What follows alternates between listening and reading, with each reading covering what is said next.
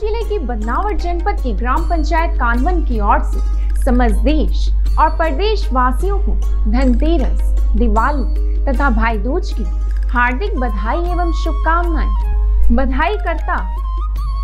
सरपंच भगवत सिंह सोलंकी उप सरपंच कैलाश चंद्र कुशवाहा, सचिव ईश्वर भोडाना, सहायक सचिव गजेंद्र सोलंकी एवं समस्त पंचन ग्राम पंचायत कानवन